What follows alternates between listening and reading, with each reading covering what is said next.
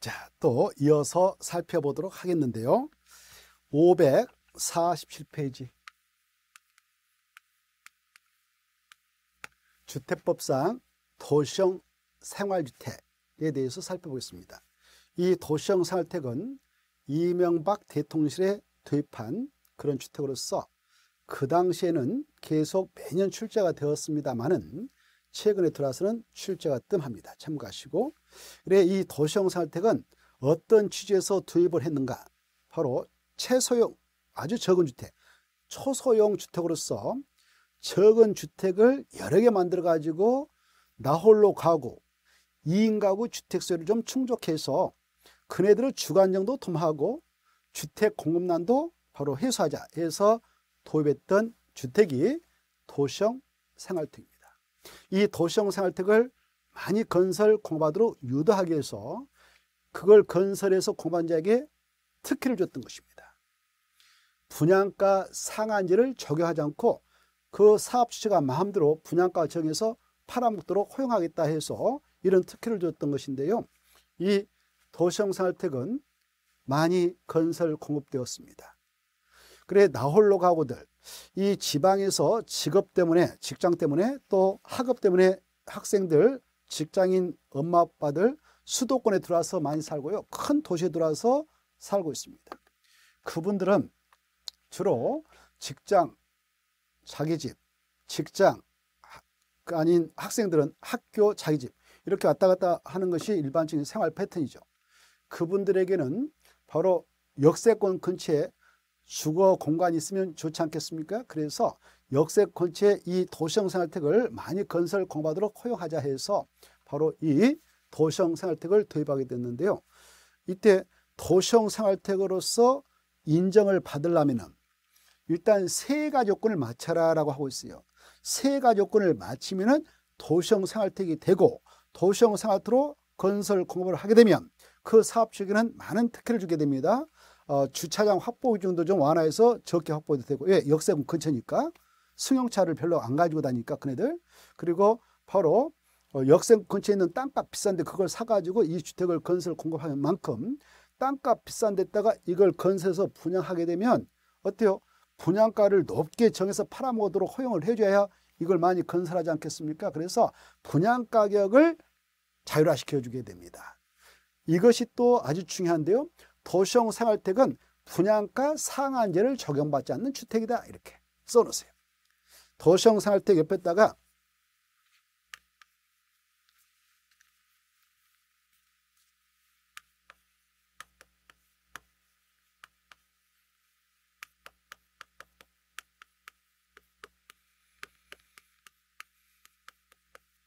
분양가 상한제가 적용된다 안 된다? 적용되지 않는다. 분양가 자율화를 시켜주고 있다. 알아서 팔아먹어라 이거죠. 분양가 상한제가 적용되지 않는다. 그래 바로 이 주택의 용어에서 뜻을 어느 정도 파악할 수 있죠.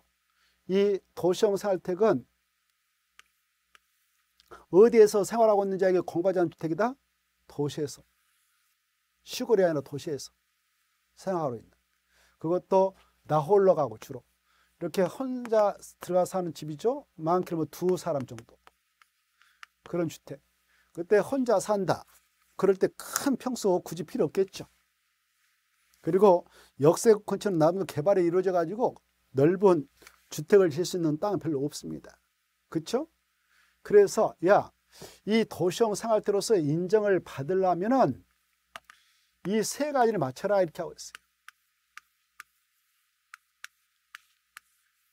이 세 가지를 기억하는 것이 시험 공부고 이건 잘 나와요.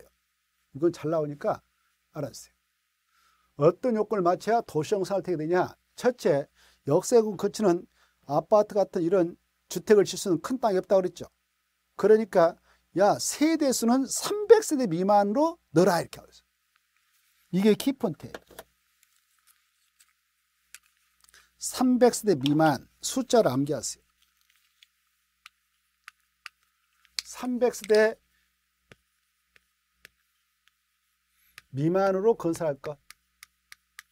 미만, 이하,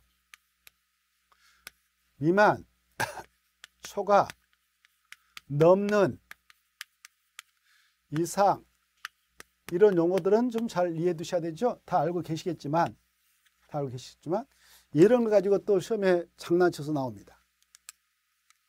이번 시험에도 그렇게 나왔죠.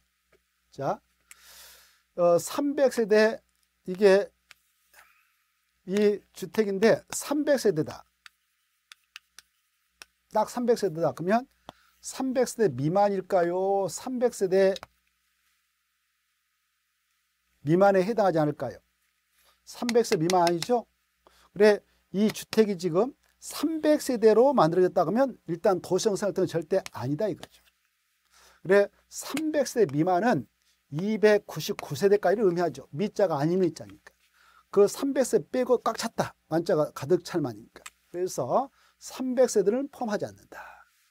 초과하면요. 300세를 초과했다면 300세를 포함하지 않고 넘는 것이죠. 초과 넘는 것 같아요. 이 안은 바로 300세대를 포함해서 바로 밑으로 300세 이상은 300세를 포함해서 위로 그 정도를 생각하세요. 다 알고 계시겠지만 이걸 정확하게 알고 계실 거예요. 그래서 바로 300세대 미만이어야 된다. 그래야 군태 도시형 생활되게 되죠. 미만이란 말 아주 중요해요. 이거 300세 미만을 만들 거. 그리고 300세 미만의 주택을 만드는데 그 땅이 어디에 있어야 된다고요? 도시에 있어야 된다. 도시죠.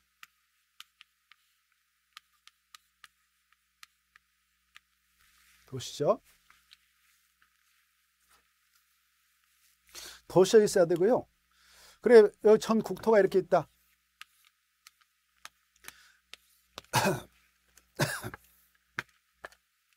국토는 국토의 계획 및 이용에 관한 법률에 따라 우리가 살펴본 바 있죠. 크게 네 가지 용도주로 구분 지정해서 관리하고 있고 이용하고 있습니다. 인구와 산에 밀집되어 있다. 밀집 예상되는 지역 보다 계획적으로 관리를 하고 개발 정비 보존할 필요가 있을 때 정시 도시입니다. 그랬죠. 그리고 도시의 안적으로서는 관리적도 있고요. 농림적도 있고요. 자연환경 보존도 있다고 그랬죠. 자연환경 보존지역.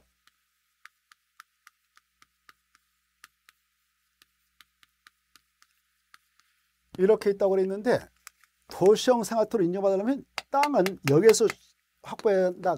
도시에서 확보해야 된다. 이거죠. 여기다 건설한 주택은 절대 도시형 생활택이 될 수 없다. 이거죠. 그 다음에 이제 이 주택을 이렇게 만드는데 그 주택의 규모가 한 세대당 이 주택의 규모가 한 세대당 주거 전문적 국민주택 규모 이하야 된다. 국민주택이 아니라 국민주택 규모. 국민주택 규모로 만들어야 된다. 국민주택 규모 뜻 아까 했죠. 국민주택 규모라고 하는 것은 주거 전용 면적이 1월 1세당 85제곱미터 이하인 주택을 말한다. 그렇죠? 그 지역이 도시이면 85제곱미터를 말해요. 도시역이 있다면 이걸 도시형 생활택을 도시형 생활택을 도시역 안에 있다만 건설하도록 하고 있으니까 도시형 생활택은 반드시 얼마 이하 되냐? 주거 전용 면적이 85 제곱미터 이하야 됩니다. 그래서 역으로 해석하면 자, 이 300세대 미만으로 건설했어요. 땅은 도시역 맞아요. 근데 각각 각 세대마다 주거 전면적이 100제곱미터자, 90제곱미터다. 그러면 절대 도시형 생활택이 될수 없죠. 반드시 몇 점부터 해야 된다고요? 85점부터 해야 된다. 이렇게 85점부터 해야 된다. 1인 가구, 2인 가구 주택난을 해소하기 위해서 이 도시형 생활택을 도입했기 때문에 규모가 커서는 안 된다. 이 세 가지 요건을 딱 머리다 입력하세요. 아시겠죠? 도시형 생활택이 되게 한 요건 첫째, 300세대 미만일 것 둘째, 그 도시역에다 만들 것 그리고 각 세대당 주거 전면적은 국민주택 규모 이하일 것 이렇게 세 가지 요건을 맞춰야 돼요. 아시겠죠? 거기 폼이 나있죠. 도시형 생활태 같이 봅시다. 547페이지 기업 봐보세요. 도시형 생활태란 300세대 미만 그것다 체크하시고 미만도 놓치면 안 돼요. 그 다음에 국민주택 규모. 국민주택 규모인데 어디다 건설이라고 했죠? 도시역에다 건설이라고 그랬죠. 그러니까 도시역은 국민주택 규모가 절대 85점토를 초과하면 안 된다고 그랬죠. 그래서 속 뜻을 정확하게 이해하고 있어야 돼요. 그거. 그리고 시험에서 어, 그 주택의 1세당 주거 전면적이 90제곱미터인 주택도 도시형 생활주택이 될 수 있다. 그러면 땡이 땡. 절대 될 수 없죠. 자, 그 다음에 이제 이 도시형 생활주택은 종류가 세 개 있어요. 세 가지. 종류가 세 개 있죠. 바로 이렇게 주택단지를 조성해 가지고 여기다 300세 미만으로 도시적인 땅에다가 건설했는데 여기다 연립택을 넣어요. 연립택. 연립택. 300세 미만 도시적인 땅 그리고 각각 세대당 전용 면적은 군택 규모인 85점대 이하로 만들어요. 근데 여기다 연립택을 넣어요. 연립택. 연립택을 만들 때에 바로 우리가 연립택 뜻은 주택으로 쓰이는 층수가 4계층 이하이고 그 주택으로 쓰이는 한 개 동호 바닥 면적계가 660제곱미터를 초과한 주택입니다라고 공부했죠. 그래 그러한 주택을 여기다 넣으면 돼요. 그걸 단지형 연립택이라 해요. 이렇게 있고요. 둘째, 역시 주택단 이렇게 조성해 가지고 여기다 다세택을 넣어요. 이 단지의 세대수는 300세 미만, 이 땅은 도시역에 있는 땅, 각 세대당 전용 면적은 군택 규모인 주택이 85제곱미터야. 해서 여기다 다세대를 넣어요. 그러면 이걸 단지형 다세대 주택 그래. 이렇게.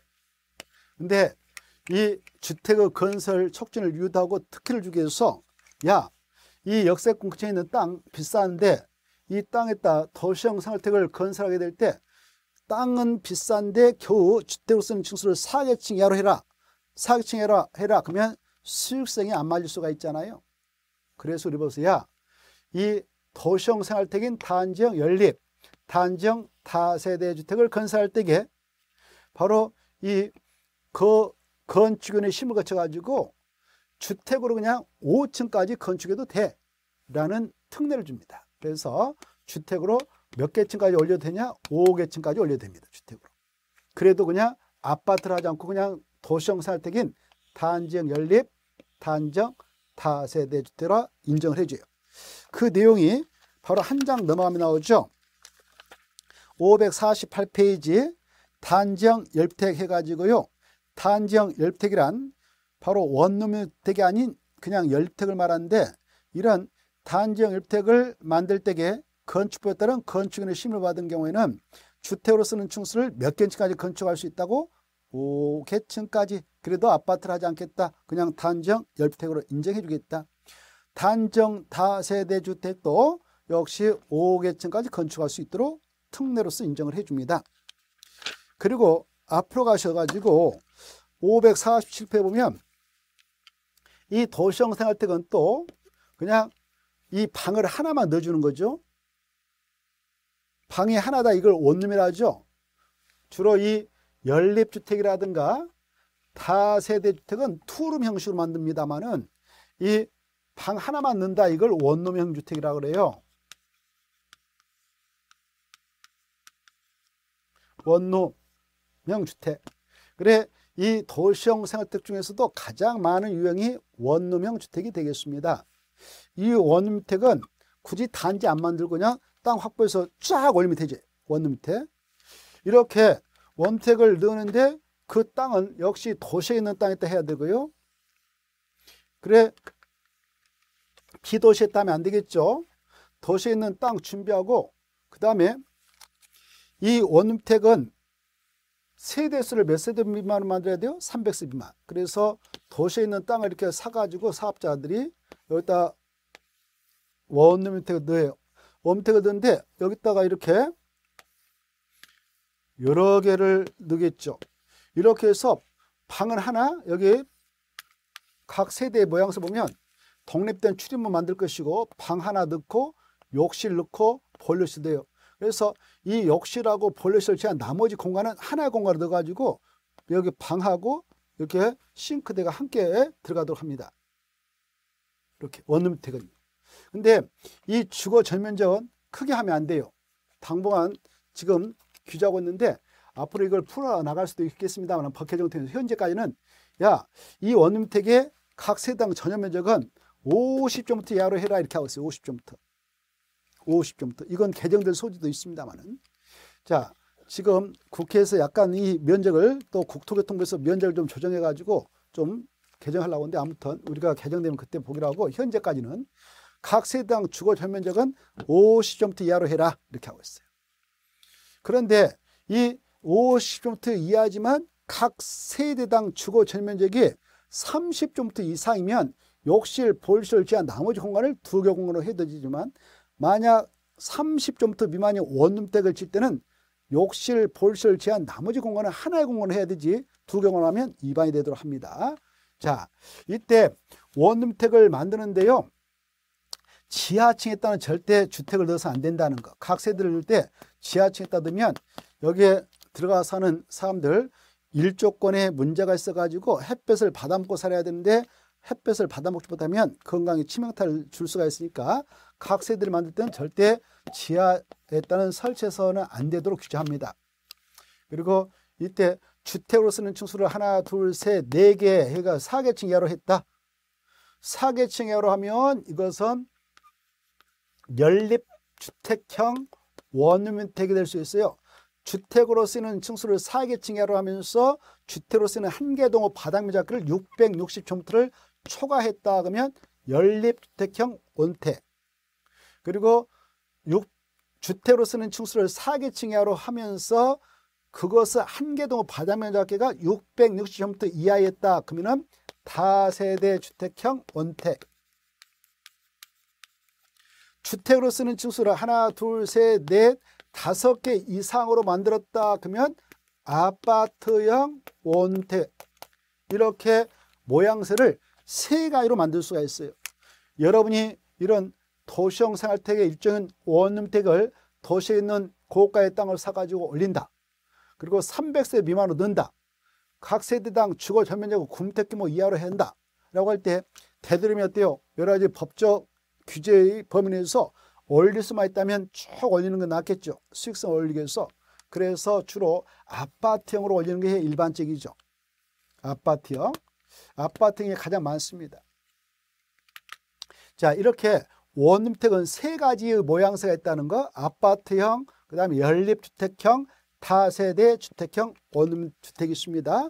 이때 이런 원택을 만들 때에는 모양새를 바로 가, 나, 다, 와 같은 요건을 맞춰야 되고요. 그리고 거 보면 다 설명한 거 나와 있죠. 넘어가서 보면 라까지를 받으세요. 지하층에는 세대를 절대 설치하지 말라 이렇게 규제를 해놓고 있다라는 거. 이 정도를 좀 이번 과정에서 받으시고요. 그 다음에 548표 6번을 좀 볼까요? 6번을 보면 부대시설, 복리설 이게 매년 시험에 출제가 되고 있는데요. 이 주택을 건설해서 공부하는 주택법상 사업체는요. 그 주택이 제 기능을 다 발휘하도록 주택에 딸린 시설로서 집어넣어주는 시설이 있어요. 이걸 부대시설. 그리고 이 주택에 들어가 사는 우리 입주자 등이 그 시설을 이용하면 이용할수록 행복해지고 건강해질 수 있는 시설도 넣어주라 이렇게 하고 있어요. 그걸 복리시설합니다. 그래 이런 주택법상 부대시설하고 복리설은 좀 익숙하게 읽어두세요. 이걸 구분해 가지고 짝짓기 하는 문제가 잘 나옵니다. 이렇게.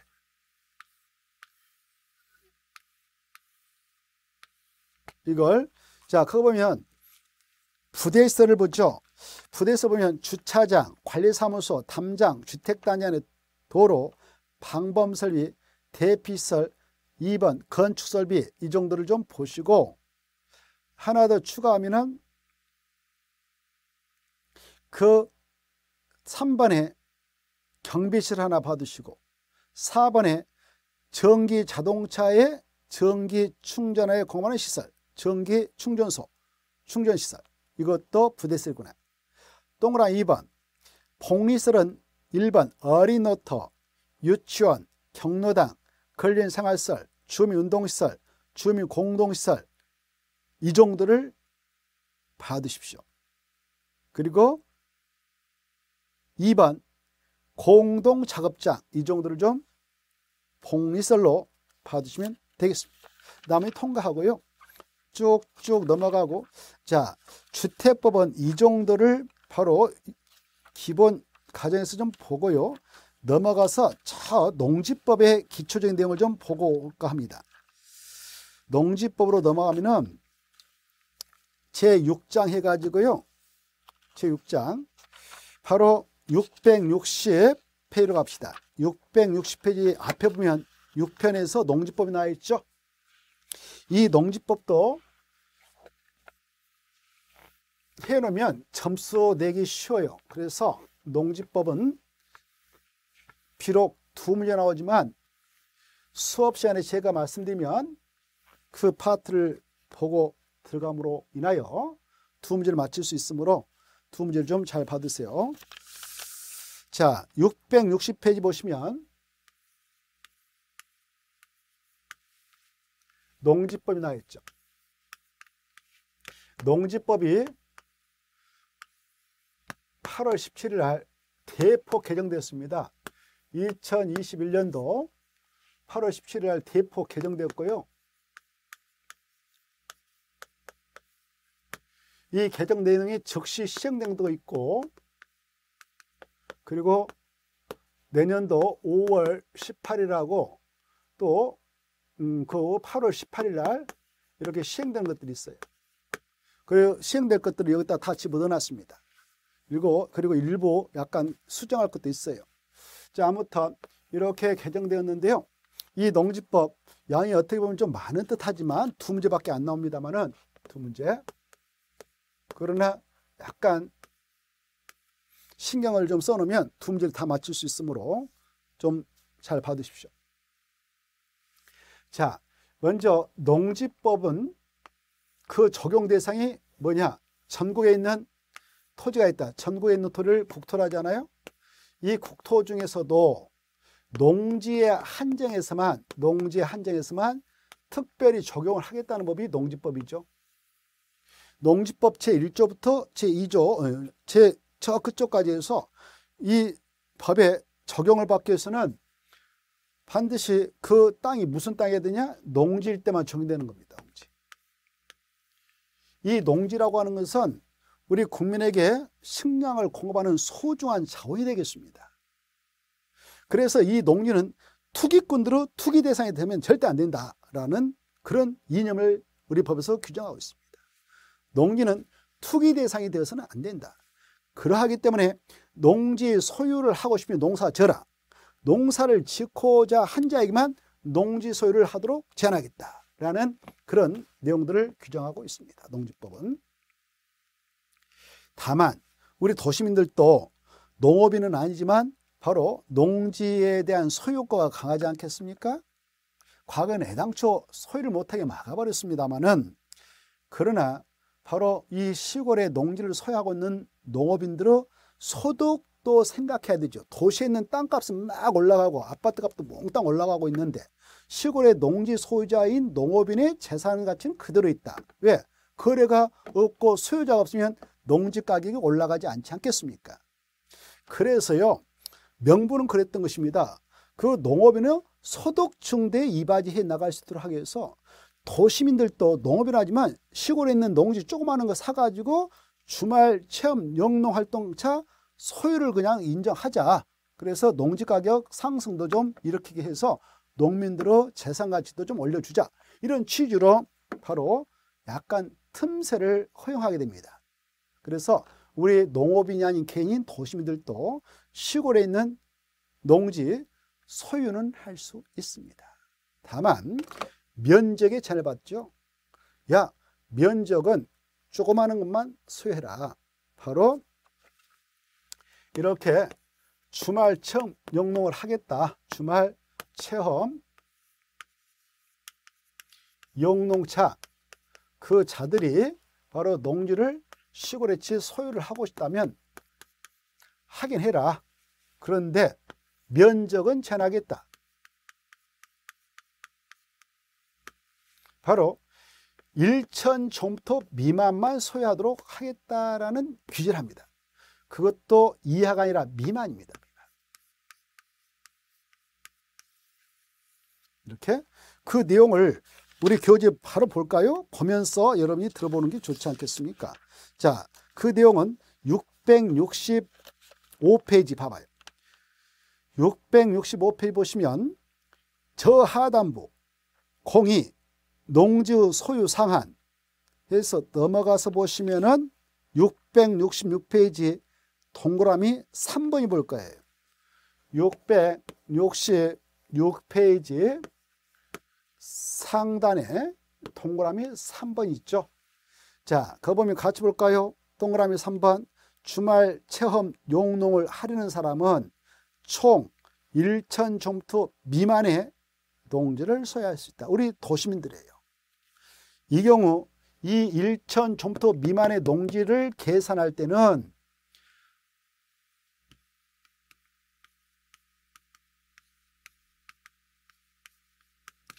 자, 여기 아빠, 엄마, 아들, 딸이 같은 세대원으로 되어 있어요. 이때 세대원이 각각 이렇게 1천년부터 미만을 소유할 수 있는 게 아니라 합산해서 만약 아빠 명의로 농지 시골에 주말 체험 농농 한답시고 하나 조그만 샀는데 그 면적이 300조부터짜리였다. 엄마도 시골에 농지 바로 200종부터짜리 하나 샀다. 뭐 하려고 합니까? 그랬더니 주말 체험 용농한다. 농업인도 아닌데 허용됩니다.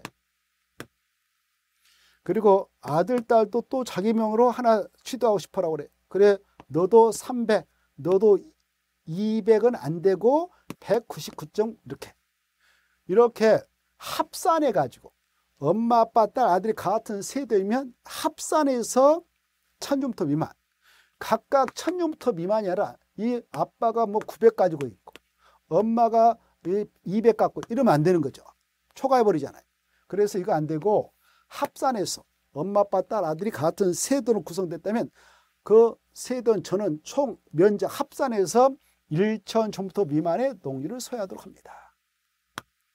이때 이 농지를 소유하게 될 때게요. 이번에 농지법 개정을 통해서 야 1천년부터 미만의 농지 주말 체험 용농을 하겠다고 할 때는 소유를 해. 그런데 이 농지가 이렇게 예쁘게 경지정리 사업해가지고 바둑판처럼 만들어 놓은 농지들 있잖아요. 예쁘게 농노수로 넣고 예쁘게 이렇게 돈 들여서 만든 농지들이 보셨을 거예요. 엄청 많죠, 이렇게 농지.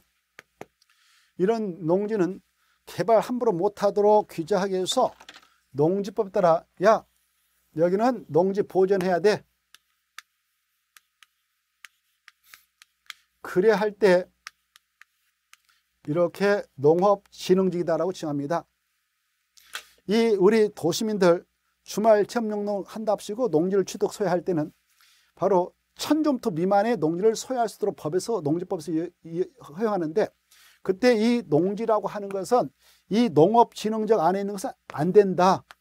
농업진흥적이 아니 이렇게 바로 계단식으로 되어 있는 아직 농지정리 사업이 안 된 그런 농지만 소유해라. 농업진흥적 애역업만 소유할 수 있도록 규제를 하게 되었다 이겁니다. 이게 바로 이번에 농지법 개정된 거예요. 그래서 우리 도시민들도 시골에 있는 농지를 소유할 수 있다 없다 있다. 어떤 목적을 가지고 주말 체험 용농 목적을 가지고 세대원 전원 합상 초면적 얼마까지만? 1천년부터 미만까지만. 그것도 지역에 있는 농지만? 농업진흥적 애후 농지만. 이렇게 좀 알아주시고요. 이때 시골에 농지를 몽땅 취득 소유해서 농업 경영을 할 수 있는 자들은 주로 어떤 자만 가능하냐? 주로 농업이라든가 농업법인들. 이네들만 주로 몽땅 농지 소유에서 농업 경영을 할 수 있도록 허용하죠. 그 외에도 이제 농지 소유는 할때 뭐 임대차, 사용대차에서 맡겨도 되는 자들이 있긴 합니다만은 일단 이네들이 농지법의 적용 대상의 농지를 몽땅 취득소에서 농업을 직접 경영할 수 있어요. 이때 농업인의 요건이 있고요. 그 다음에 농업법이 뭐냐 이 정도를 좀 알고 계시면 좋겠는데요. 그걸 하고 바로 이 농지법의 기초 이론 내용을 바로 마무리 짓도록 하겠는데요. 661페이지 있습니다. 이거 시험에 함재감이니까 미리 좀 알아주세요. 661페이지 보면 농업인의 범위 나요. 어떤 요건을 갖추고 있으면 농업인을 하는가 그거 661페이지 2번 보면은 농업인이란 농업에 종사하는 개인으로서 같이 봅시다. 661페이지 종업은 농업인이란 농업에 종사하는 개인으로서 다음 각호 어느 하나에 해당하는 자를 말한다. 동그라미 1, 2, 3, 4 동그라미 1, 2, 3, 4 이걸 묶어가지고 중요표 넣으세요. 중요표. 그래 이 동그라미 1번부터 4번까지는 함재감이니까 딱 머리다 시간 많을 때 새겨두시도록 노력하셔야 돼요. 안 보고도 그 내용이 나오도록. 첫째, 1천 종부터 이상인 농지에다 농작물을 경작하고 있다. 단형생 식물을 재배하고 있다. 그러면 농업입니다. 1천 종부터 이상. 그 다음에 농지에다 버섯집에서 비나우스 이런 걸 설치해요. 이걸 시설농업이라 하죠. 그때 그 면적이 330촌부터 이상인 그런 면적으로 거기다 설치해서 농작물 경제 단형생 식물을 재배하고 있으면 그자도 농업이에요. 그리고 나무 농업에 가서 머슴 같이 우리가 옛날에 머슴이란 말을 하셨죠. 요즘에 종사자를 하죠. 그래 나무 어, 그 농업에 가서 어, 머슴살이 한 것 같이 종사합니다. 그래 1년 중 농업에 며칠상 종사한 사실이 입증되면 농업인의 지위를 법에서 인정해 주냐? 90일입니다. 그리고 가축을 사육하고 있어도 농업인의 지위가 인정돼요. 대가축은 소, 말 이런 큰 거예요. 그건 이두, 두자 머리 두자 대가리 두죠. 그 다음에 중가축, 돼지, 염소 이런 걸 중가축이라는데 열두. 소가축은 소가 아니고 아주 적은 것들, 토끼 이런 것들이 이런 토끼 같은 것은 소가축이라는데 백두, 백마리. 그 다음에 시골에 그 가금 있죠. 날개 있는 가축들 있죠. 타고리, 타주 이런 것들, 이런 것들은 가금이라는데 가금은 1천수, 1천 마리. 그 다음 꿀벌은 여왕을 위주로 군집생활 하죠. 그래서 군집생활 하니까 10군, 열통을 찼다 이렇게 말 쓰잖아요. 그 다음에 나무 축산업에 가서 종사했어요. 종사한 사실이 1년 중 120일 이상이다. 그러면 농업인의 지를 인정합니다. 그 다음에 농업 경영을 통한 농산물 연간 판매기 120만 원 이상이다. 그러면 농업의 지위가 인정돼요. 이 숫자는 좀 시간 많을 때 달달달 달달달 이렇게 하도록 노력을 하셔야 돼요. 시험에 나오니까요. 여기에서 이해될 것은 이러한 요건 중 어느 하나 요건만 갖추고 있어도 농업인의 지위는 인정됩니다. 갑이라는 사람이 있는데요. 갑이라는 사람이 대가축 1두만 사용하고 있고 그리고 꿀벌 11군을 사용하고 있으면 농지 500종부터 농지에다 농작물을 경작하고 있는 자다. 그러면 농업일까 아닐까? 농업이 되죠. 어디에서 요건 충족했습니까? 꿀벌에서. 이렇게 어느 하나 요건만 충족하면 농업인의 지위는 인정된다는 걸 이해해 두시기 바라고요. 그 다음에 662페이지 보면 농업법이 나오잖아요. 농업법이 무엇이냐? 농업법이란 것은 농업법이란 두 가지를 말해요. 영농종합, 영농조합법인 줄 것이고 그 다음에 마지막에 농업회사법 이렇게 줄 거예요. 그래서 농업법이라고 하는 것은 농업 경영체 육성 및 지원하는 법률에 따라 설립된 영농조합법인과 그리고 업무 집행권을 가진 자 중 3분의 1 이상이 농업인인 농업회사법을 말한다. 이렇게 우리 시험에서는요. 3분의 1을 가로쳐 놓고 가로 안에 들어갈 것이 뭐냐 이렇게 출제되게 돼 있어요. 그래 농업회사법인은 농업인과 비농업인이 합작해서 만드는데 그럴 때 농업인은 업무 집행권을 가지고 있는 자중 최소한도 3분의 1에서 모셔야 된다. 이거 받으시고 하나만 체크하고 마무리 짓겠는데요. 08번 주말 체험 용론 아까 말씀드렸죠. 주말 체험 용론을 읽어두세요. 주말 체험 용론이란 농업인이 아닌 개인이 주말 등을 이용하여 취미 생활이나 여가 활동으로 농작물을 경작하거나 다년생 식물을 재배하면서 만한다 이렇게 돼 있죠. 여기까지 해서 기초 입문 과정을 마무리 짓도록 하겠습니다. 자, 여러분들 수업 시간에 말씀드린 것만 좀 반복해서 보시고요. 또 이걸 다시 기본 이론 과정으로 들어가서 우리가 다시 볼 것입니다. 다시 다음 시간부터는 이제 처음부터 우리가 차근차근 꼼꼼하게 시험에 나올 것들을 체크하면서 나갈 테니까 어, 참고하시고요. 오늘은 여기서 마무리 짓도록 하겠습니다. 여러분들 건강 잘 챙기시고요. 다음 주에 또 뵙겠습니다. 안녕히 계십시오.